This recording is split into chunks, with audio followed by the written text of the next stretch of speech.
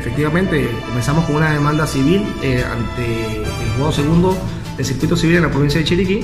Posteriormente hemos tenido que presentar en días anteriores eh, nuestro grupo de abogados una denuncia penal por posible actos de corrupción al interno de CAXA y eh, ante la Corte Suprema y posible acto de corrupción que puedan llegar hasta la Corte Suprema de Justicia. ¿En qué basan ustedes esta denuncia? Información que nos suministraron de forma anónima inicialmente, eh, con documentación en donde se nos daba copia de actas de internas de CAXA, eh, se nos hizo un manuscrito en donde se establecía cómo se estaba haciendo la compra del fallo, la posible compra del fallo, cómo se estaban haciendo todas las erogaciones que supuestamente iban destinados a que el fallo saliera a favor de CAXA. Teniendo esa información que nosotros eh, obviamente eh, no, no podíamos darle la veracidad a la misma, presentamos la denuncia ante la Fiscalía Anticorrupción y es la Fiscalía Anticorrupción la que está encargada de entrar a determinar la veracidad de la documentación.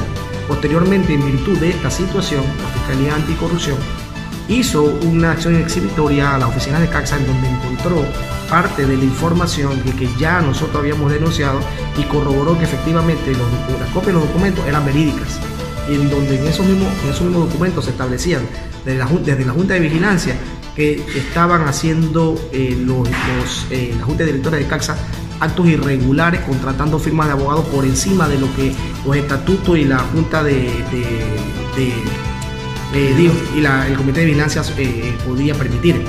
Y independientemente de eso, también eso estaba aprobado también por Asamblea General, que es el organismo máximo de una cooperativa, y ellos pasaron por alto todo esto. En virtud de esto, entonces ha venido una serie de situaciones que eh, se ha podido pues eh, eh, ahondar con lo que ha salido publicado en el periódico La Prensa en el día de ayer y en el día de hoy.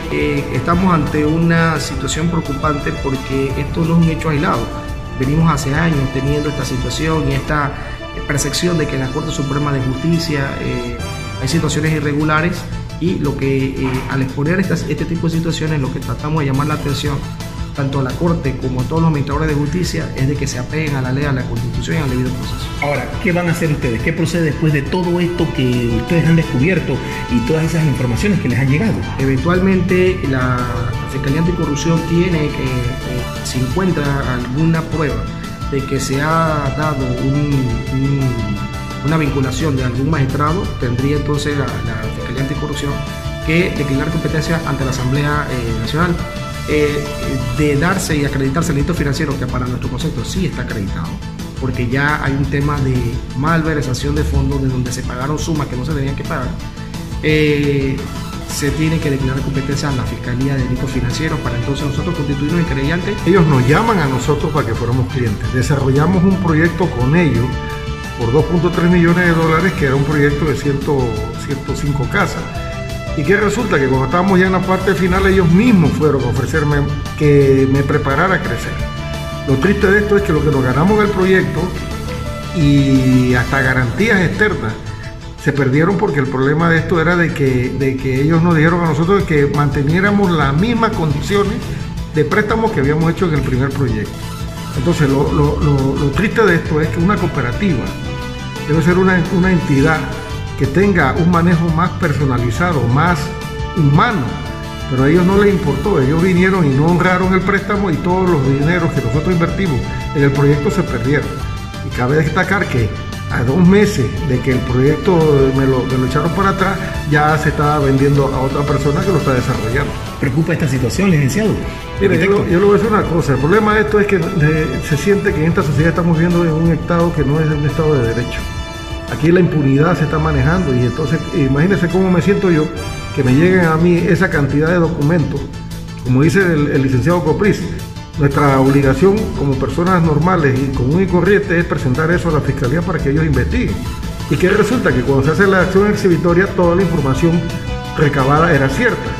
Entonces estamos viendo de que, de que corre eh, la, la situación de que puede haber hasta una posible compra de fallo.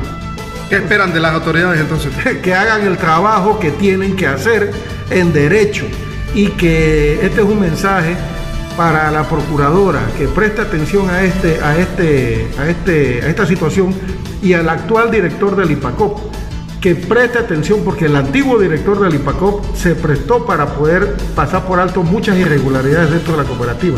Ejemplo, nosotros presentamos una denuncia cuando estaba el antiguo director Willy Ching y la denuncia se extravió. Entonces, ¿qué clase de, de, de, de, ejemplos para la comunidad vamos a tener que cuando usted ve que una institución que es la que regenta a las cooperativas se preste para poder solapar estas irregularidades?